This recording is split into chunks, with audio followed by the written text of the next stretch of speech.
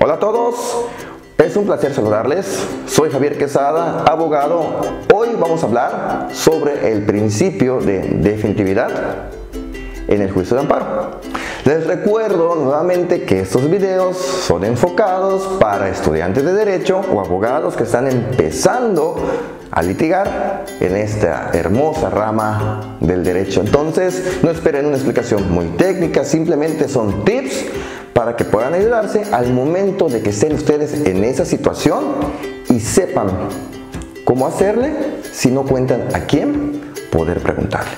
Dicho esto, les invito a darle like, compartir y suscribirse a este canal. Así que, sin más pérdida de tiempo, comenzamos.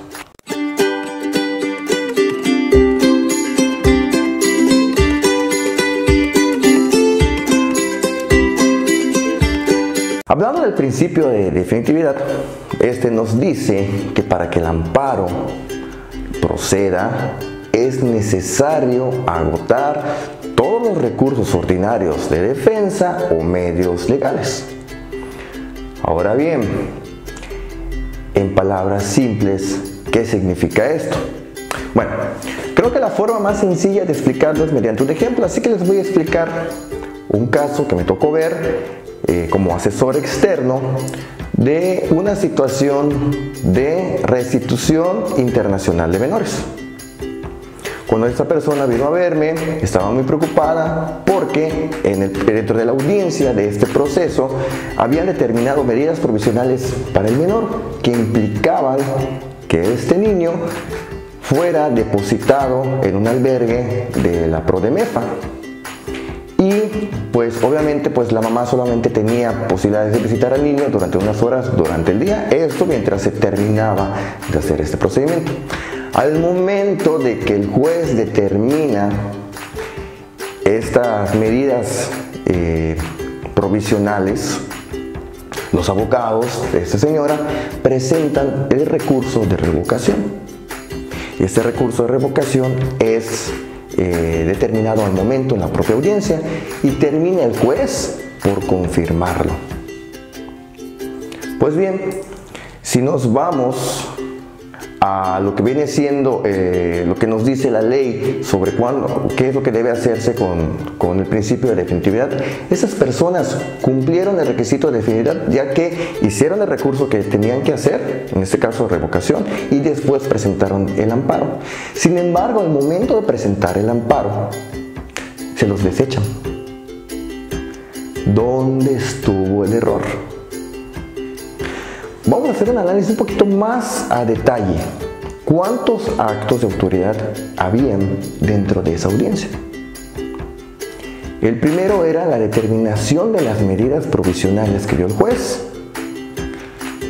donde viene la solicitud o la presentación del, del recurso de revocación y posteriormente a esto eh, viene la confirmación de estas medidas provisionales. El error en esta situación fue que al momento de presentar el amparo, si bien cumplieron con el requisito de agotar los recursos ordinarios, se equivocaron de acto, ya que ellos presentaron el amparo y presentaron sus agravios atacando el auto que dictó las medidas provisionales, cuando en su lugar debieron atacar el auto que confirmó esas medidas provisionales, dejando sin efectos el recurso de revocación. Es un pequeño detalle que al final tuvo mucho peso porque impidió que el juez de amparo llegara a un estudio integral de los agravios del quejoso, y pues esto pues no permitió que la defensa de esta mamá tuviera un mejor derrotero.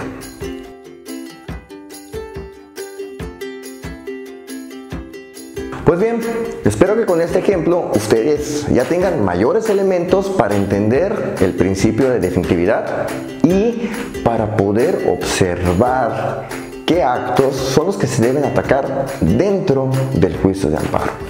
Tienen algún comentario, si tienen alguna pregunta, háganmela saber, escríbame.